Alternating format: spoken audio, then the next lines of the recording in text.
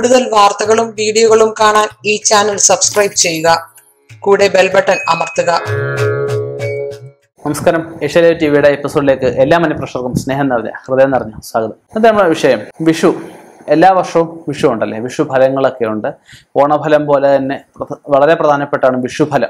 വിഷു ഓരോ വർഷവും നമുക്ക് സംക്രമ സമയത്ത് ഒരുപാട് നക്ഷത്രക്കാർക്ക് ആ ഒരു വർഷം ആ വിഷു തുടങ്ങി. അടുത്ത വിഷു വരെയുള്ള കാലയളവിൽ ഒരുപാട് ഭാഗ്യങ്ങൾ ഒരുപാട് യോഗങ്ങൾ ലോട്ടറി അടിക്കുക ചിട്ട് കിട്ടാനുള്ള യോഗങ്ങൾ വിവാഹം നടക്കാനുള്ള യോഗങ്ങൾ തൊഴിൽ കിട്ടാനുള്ള യോഗങ്ങൾ പുതിയ വാഹനം എടുക്കാനുള്ള യോഗങ്ങൾ അങ്ങനെ ഒരുപാട് യോഗങ്ങൾ ഒരുപാട് ഭാഗ്യങ്ങൾ ഒക്കെ അവന് കിട്ടാനുണ്ട്. അപ്പം അങ്ങനെ കിട്ടാനുള്ള യോഗങ്ങളെ പൊതുവെ നമ്മൾ ഓരോ യോഗങ്ങൾ ഗജകേസരി യോഗം രാജയോഗം അങ്ങനെയൊക്കെ പറയാറുണ്ട്. അപ്പം അതിൽ നമുക്ക് കുറച്ച് വ്യത്യസ്തമായിട്ട് ഉള്ള ഒരു യോഗമാണ്. രാജരാജ സുഭഗ യോഗം അതായത് സുഭഗം എന്ന് വെച്ചാൽ എന്താ?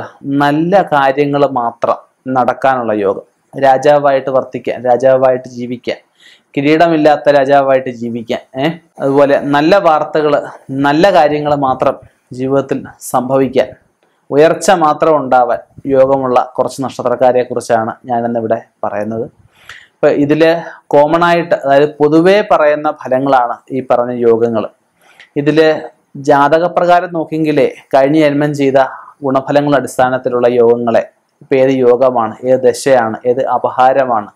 ഗോചരാൽ വ്യാഴം എവിടെ നിൽക്കുന്നു ശനി എവിടെ നിൽക്കുന്നൊക്കെ പൂർണമായിട്ടും ഒരു കാരണവശാലും ഫോണിൽ കൂടെ ഒരാളോടും ചോദിക്കാൻ പാടില്ല ഒരു ജ്യോത്സ്യനോടും ചോദിക്കാൻ പാടില്ല. നിമിത്ത ശാസ്ത്രപ്രകാരം വളരെ തെറ്റാണ്. ഒരു ജ്യോത്സ്യൻ എപ്പോഴാണ് ഉള്ളത് എപ്പോഴാണ് സമാധാനചിത്തനായിട്ടിരിക്കുന്നത് സ്വസ്ഥചിത്തനായിട്ടിരിക്കുന്നത് ആ ആളുടെ സമയം നോക്കി അവനവന്റെ സമയം നോക്കിയിട്ട് വേണം നമ്മൾ പോയി ചോദിക്കാൻ. അദ്ദേഹത്തിനെ ഫോണിൽ കൂടെ വിളിച്ച് ബുക്കിംഗ് ഒക്കെ ഉറപ്പാക്കിയിട്ട് വേണം പോയി നമ്മുടെ കാര്യങ്ങൾ വിശേഷമായിട്ട് അറിയാൻ.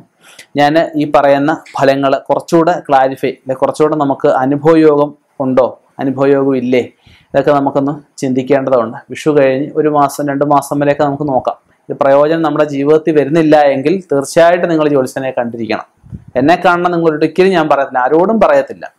എന്റെ അടുത്ത് പൂജയല്ല എന്നെ കാണണം ഞാൻ ആരോടും പറയത്തില്ല. നിങ്ങൾക്ക് ഇഷ്ടമുള്ളവരെ കാണാം. നമുക്ക് റിസൾട്ട് അതാണ് പ്രധാനം. അപ്പം അങ്ങനെയുള്ള കാര്യങ്ങൾ നോക്കി എന്തെങ്കിലുമൊക്കെ ദോഷങ്ങൾ എന്തെങ്കിലുമൊക്കെ പോരായ്മകൾ ഉണ്ടെങ്കിൽ അതൊക്കെ പരിഹരിച്ച് മുന്നോട്ട് പോവുക. തീർച്ചയായിട്ടും ഞാൻ ഈ പറഞ്ഞ രാജരാജ സുഭകയോഗം നിങ്ങളുടെ ജീവിതത്തിൽ ഉണ്ടാവട്ടെ.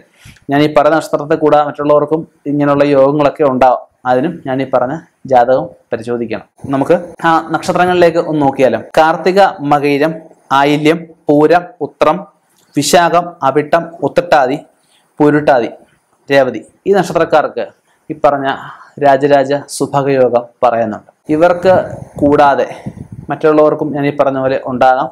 അത് ഉണ്ട് ഇല്ലയോ ഇങ്ങനെ സംശയിച്ചിട്ട് കഥയുണ്ടോ? കഥയില്ല. അപ്പം അവർക്ക് ചിലപ്പോൾ ഇതായിരിക്കും ചിലപ്പോൾ ഇതിനെക്കാട്ടിലും വലിയ യോഗങ്ങളായിരിക്കും. ഒരുപാട് യോഗങ്ങൾ നമുക്ക് പറയുന്നുണ്ട്. അനുഭായ യോഗമുണ്ട് സുനഭായ യോഗമുണ്ട് ചക്രവർത്തി യോഗം രാജയോഗം അതുപോലെ തന്നെ ഗജകേസരി യോഗം കേസരി യോഗം അങ്ങനെ ഒരുപാട് നിപുണ യോഗം മാളവയോഗം ഒരുപാട് യോഗങ്ങളുണ്ട്. ഓരോ ഓരോ യോഗങ്ങളെ കണ്ട് ഓരോ ഫലങ്ങളെ ഓരോ ഇത് സാമ്പത്തികം ഓരോ ഇതിൽ അഭിവൃദ്ധിക്കുള്ള യോഗങ്ങളെ ചില യോഗങ്ങൾ ദോഷമായിട്ടും വരാം. ശകടയോഗം എന്ന് പറഞ്ഞൊരു യോഗമുണ്ട്. അത് ദോഷമാണ്. അത് നമുക്ക് നഷ്ടങ്ങൾ ഉണ്ടാക്കുന്ന ഒരു യോഗമാണ്. അപ്പൊ ജാതകത്തിൽ അപ്പൊ അങ്ങനെ ശകടയോഗ ശകടയോഗം പോലെ എന്തെങ്കിലും ദോഷങ്ങളുള്ള യോഗങ്ങൾ ഉണ്ടെങ്കിൽ അതിന്റെ പിന്നിൽ അതിനെ മുജ്ജന്മ ദോഷമായിട്ടാണ് പറയപ്പെടുന്നത്.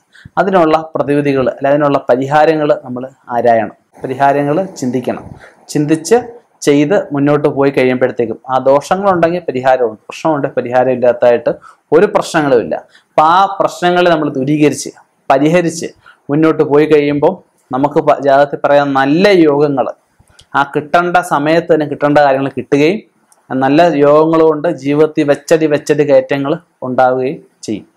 ഇനിയും ഇതുപോലെയുള്ള വ്യത്യസ്തമായ യോഗങ്ങൾ വ്യത്യസ്തമായ സംക്രമ ഫലങ്ങൾ നിങ്ങൾക്ക് അറിവില്ലാത്ത വിഷയങ്ങൾക്കുള്ള മറുപടികൾ കണ്ടുമുട്ടാം.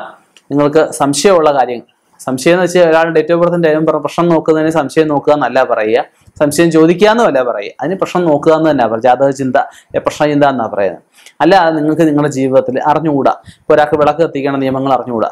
പല ഒരാൾക്ക് പൊലവാലഴിമകൾ അറിഞ്ഞുകൂടാ. അപ്പം അങ്ങനെയുള്ള വിഷയങ്ങൾ എന്തെങ്കിലും ഉണ്ടെങ്കിൽ നമ്മുടെ ഈ ചാനലിലെ കമന്റ് ബോക്സിൽ കമന്റ് ചെയ്ത് കഴിഞ്ഞാൽ അപ്പോൾ അതിനൊക്കെയുള്ള ഒരു എപ്പിസോഡായിട്ട് നമുക്കത് നല്ല തിരഞ്ഞെടുക്കപ്പെടുന്ന നല്ല നല്ല കമന്റുകൾക്കുള്ള മറുപടികൾ എപ്പിസോഡായിട്ട് നമ്മൾ ചെയ്യുന്നതായിരിക്കും. ഇനിയും ഇതുപോലെയുള്ള വ്യത്യസ്തമായ വിഷയങ്ങളുമായി കണ്ടുമുട്ടാം. നിർത്തുന്നു. നന്ദി. നമസ്കാരം.